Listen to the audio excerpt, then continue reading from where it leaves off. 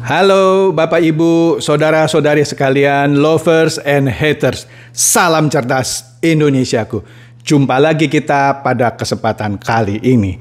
Bagi Anda semua yang belum subscribe channel saya, silakan subscribe channel saya, tekan loncengnya agar Anda dapat notifikasi setiap kali saya mengupload video-video saya. Oke, pada kesempatan kali ini saya akan melanjutkan review saya mengenai Polaris, sebuah aplikasi yang mulai viral. Bahkan sejumlah uh, leader bebek dungu, ya kan, yang dulu menjerumuskan orang ke permainan video, sekarang sedang giat-giatnya mau menjerumuskan bebek dungu yang dulu jadi korbannya masuk ke permainan Polaris lagi, yang jelas-jelas money game. Kan sudah saya review aplikasi Polaris beberapa hari yang lalu. Silakan Anda klik di sini bagi Anda yang belum uh, menonton video review saya mengenai Polaris. Oke, di situ sudah saya jelaskan. Tetapi seperti biasa, ada orang yang memang sengaja mau menjerumuskan bebek dungu, ya. Padahal dia dulunya juga suka menjerumuskan bebek dungu ke permainan ke permainan money game. Nah, sekarang dia jerumuskan lagi. Atau para youtuber yang memang dibayar sama Polaris. Karena kenapa? Polaris ini sedang gencar menyuratilah, mengirim email gitu ya kepada sejumlah youtuber untuk mereview aplikasinya dengan bayaran antara satu juta sampai satu setengah juta. Kok bapak tahu? Tahulah teman-teman saya pada nanya ke saya, Pak, saya ditawari, Pak, terima atau enggak? Ya janganlah, itu money game, sudah jelas. Loh kok Bapak bisa bilang money game? Ntar Bapak dilapori. Nah silakan lapori. Saya tunggu. Karena saya akan buktikan sekali lagi bahwa itu adalah money game. Oke? Saya kasih tahu gini deh ya. Anda jangan sok-sokan mereview sebuah aplikasi kalau Anda nggak ngerti gitu aplikasinya. Apalagi Anda terima orderan dari Polaris dengan terima uang antara satu setengah juta sampai paling kecil satu juta kira-kira begitulah ya kan dibayar dibayar sama Polaris ya kan? Saya kasih tahu ya, Anda masing pakai celana monyet, saya udah pakai celana King Kong, ya. Jadi, aduh, soal review-review itu jangan ragukanlah kredibilitas saya. Saya mau tanya, aplikasi apa yang saya review dan nggak scam gitu?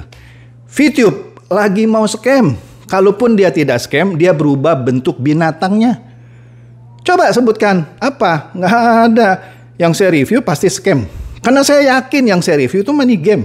Titik. Oke. Nah, kembali ke Polaris. Di video saya yang sebelumnya, kan saya tayangkan kan uh, susunan dari Polaris uh, yang pusatnya. Itu saya dapat dari mana? Dari aplikasi Polaris. Kan ketika saya review saya download dulu dong aplikasinya. Saya lihat di dalamnya, di situ ada susunan. Anda lihat di sini. Anda lihat di sini ya kan? Susunan manajemen da dari Polaris.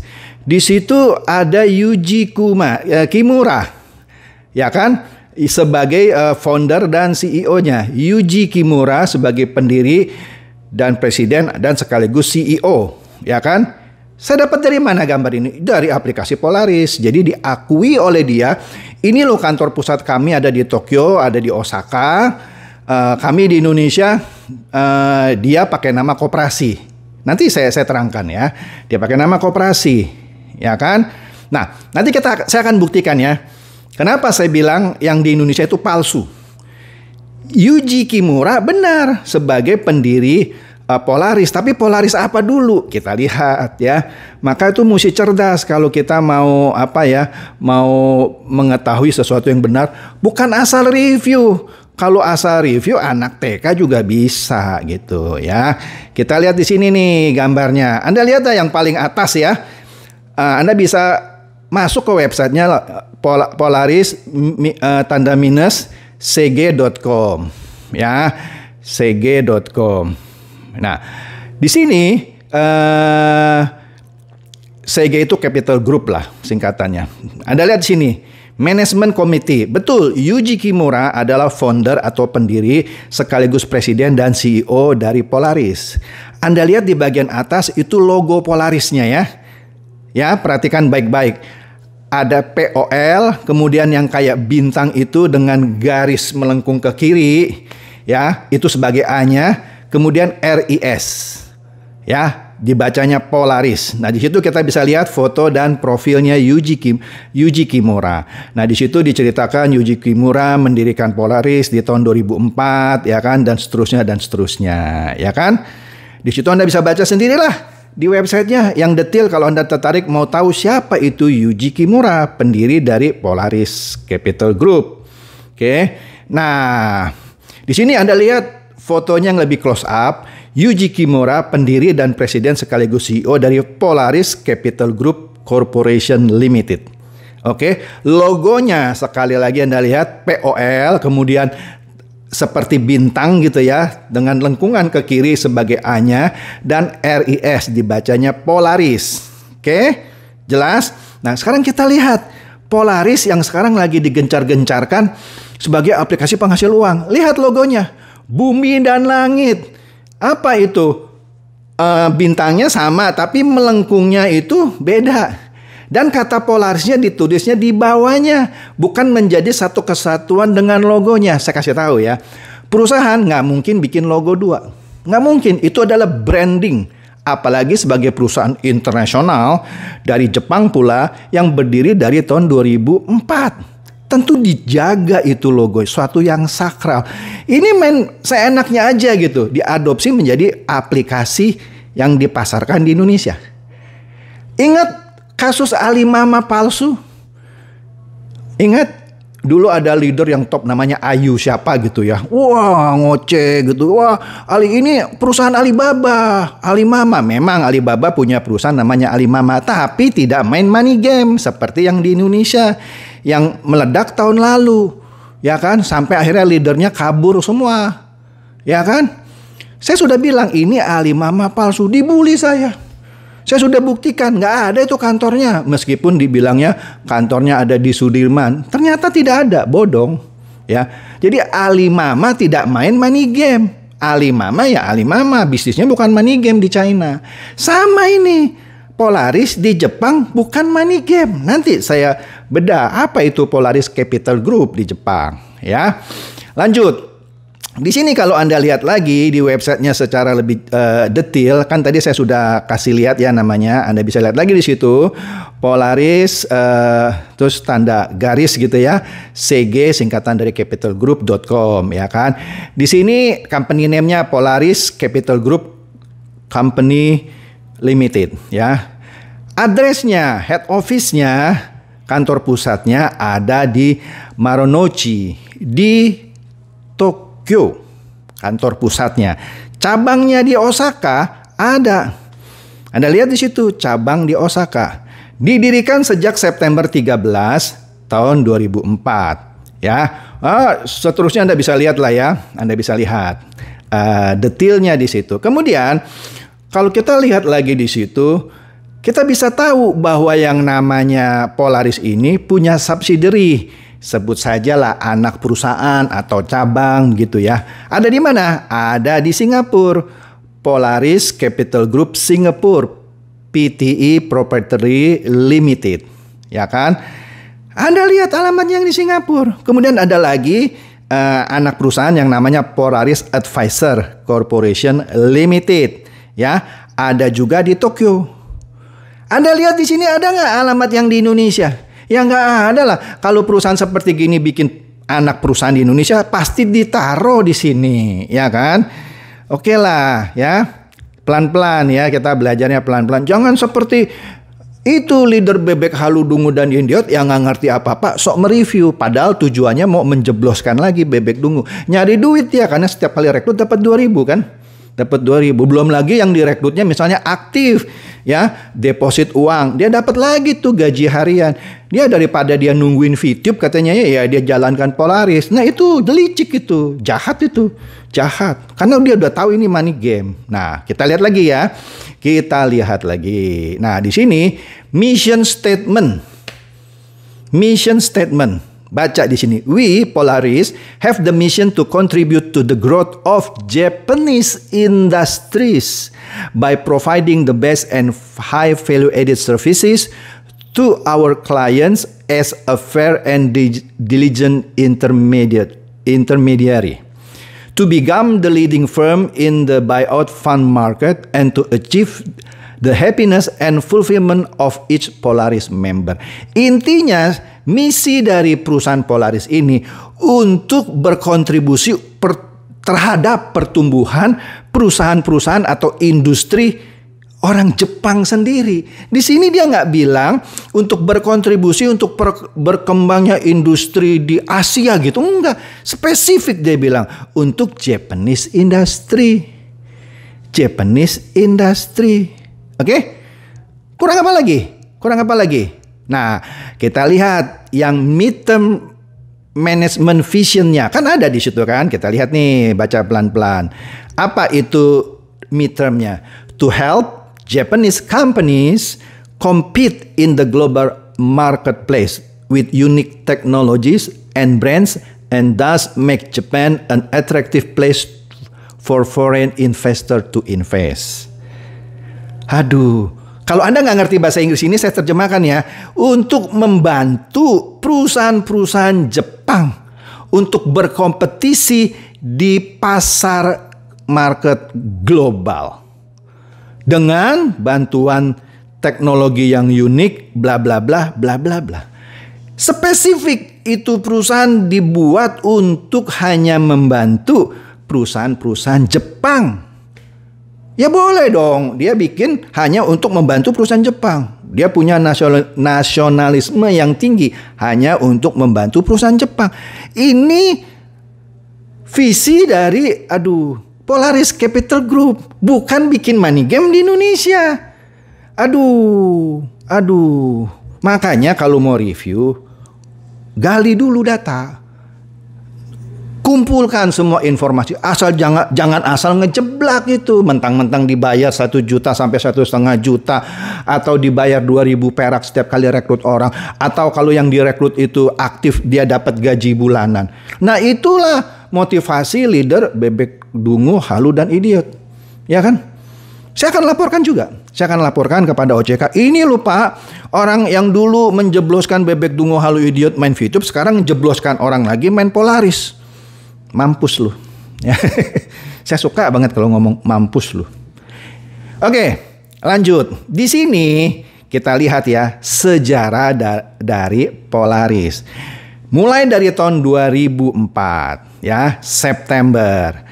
Dikatakan di sini Polaris Principal Finance Corporation didirikan di Otemachi Chiyodaku, Tokyo, ya kan? Yuji Kimura menjadi uh, orang pertama yang sebagai representatifnya, ya kan? Kemudian di bulan November uh, dibentuk Polaris Private Equity dan seterusnya. Anda bisa lihat lagi 2005 uh, berinvestasi di Smile Corporation, ya kan? Kemudian di tahun 2006 berinvestasi di Drug Eleven Holding Corporation dan seterusnya. Uh, di September 2006 berinvestasi di Taiko Paper Manufacturing Corporation. Di bulan November 2006 berinvestasi di Kisai and Kisai Analysis ya. Jelas di situ hanya perusahaan-perusahaan Jepang ya. Uh, kemudian 2007 dia menjual uh, holding uh, company dari Drug Eleven ya, yang sebelumnya dia menginvestasikan uangnya ya. Semuanya perusahaan Jepang yang dia uh, bantu tumbuh kembangkan ya. Di situ Anda bisa lihat sejarahnya ya supaya lebih jelas supaya Anda jangan tuduh saya main asal bicara. Langsung lah saya masuk uh, panjang itu. Anda bisa lihat uh, dia punya ininya reputasinya luar biasa. Langsung kita masuk ke uh, di tahun 2018 di sini ya kan. Di tahun 2018 Januari dia menjual Yodogawa Transformer ya. Kemudian di bulan Maret dia berinvestasi di Fujitsu Connected Technologies. Fujitsu kan perusahaan Jepang, jelas. Tahun 2019 di bulan Februari dia berinvestasi di Hitachi Automotive System Measurement. Oke, okay? di bulan Maret dia berinvestasi di Hitowa Holding Company. Di bulan Maret juga dia menjual Hivik Corporation. Ya, ini perusahaan mengembangkan uh, perusahaan berinvestasi kalau sudah bagus dia jual. Kira-kira seperti itu. Ini perusahaan besar ini perusahaan besar. Ya, kita lihat Sampai Maret 2019 tidak ada lagi perkembangannya lagi sehingga masuk ke tahun 2020 apalagi 2021 mungkin karena pandemi dan segala macam. Kalau kalau dia memutuskan untuk masuk ke Indonesia yang mana itu adalah impossible karena kan tujuannya hanya untuk membantu perusahaan Jepang. Tapi nggak ada dia buka kantor di Indonesia.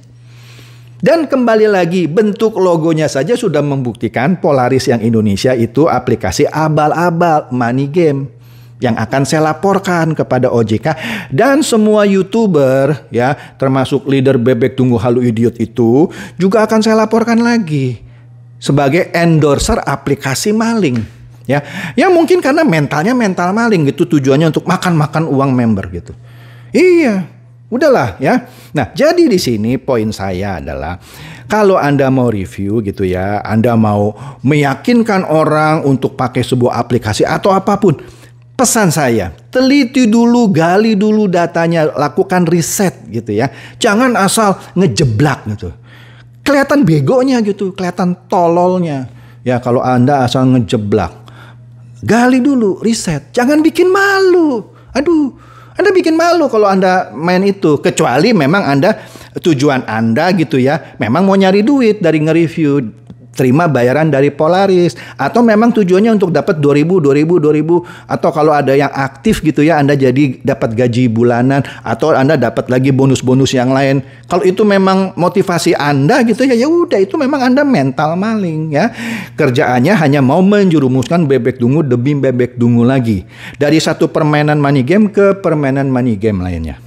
Oke? Jadi demikian saja bedahan saya mengenai Polaris Capital Group yang sesungguhnya di Jepang betul yang pendirinya uh, atau yang sekaligus jadi presiden dan CEO-nya adalah Yuji Kimura, tapi itu perusahaan yang khusus untuk membantu perusahaan-perusahaan Jepang bukan datang ke Indonesia bikin money game, bikin apa ya simpan pinjam begitu ya, deposito dan pinjaman online nggak ada, nggak main ece-ece yang namanya Polaris ya, dia mainannya itu miliatan bahkan triliunan, nggak main cuma 2000 perak. Aduh, mikir coy, mikir. Masa Polaris Capital Group dari Jepang ke Indonesia hanya simpan pinjam gitu, yang ilegal pula nggak ada izinnya gitu ya, yang ngasih-ngasih orang cuma 2000 gitu ya, nggak ada itu nggak ada mainan. Saya kasih tahu, orang Jepang itu paling haram menyentuh sesuatu yang namanya money game. Anda boleh cek reputasi uh, perusahaan-perusahaan di Jepang, ya. Kalau perusahaan Malaysia banyak bikin money game terkenal tapi Jepang belum ada. Kalau Anda punya contoh money game yang dikelola atau dimiliki oleh orang Jepang, kasih tahu saya, ya. Nanti saya kasih hadiah. Nggak akan ketemu. Tapi kalau orang Malaysia banyak coy, banyak orang Malaysia. Makanya, udahlah. Cobalah jadi bangsa yang mandiri. Jangan mau dikibuli oleh orang Malaysia. Oke? Okay? Demikian saja bahasan saya pada kali ini mengenai Polaris Capital Group yang dari logonya yang asli kita bisa lihat bahwa Polaris aplikasi penghasil uang yang ada di Indonesia itu adalah penghasil uang abal-abal yang mendompleng nama Polaris Capital Group yang mana pengelolanya bisa kena pidana yang akan saya laporkan. Begitu juga para YouTuber, leader-leader bebek halu dungu dan idiot yang mempromosikan Polaris juga akan saya laporkan ke OJK karena dia bisa jadi kaki tangan dari aplikasi abal-abal Porasis. Silakan share video saya ini kepada teman-teman atau kerabat yang Anda pikir bisa tercerahkan juga oleh video saya ini. Seperti biasa, terima kasih.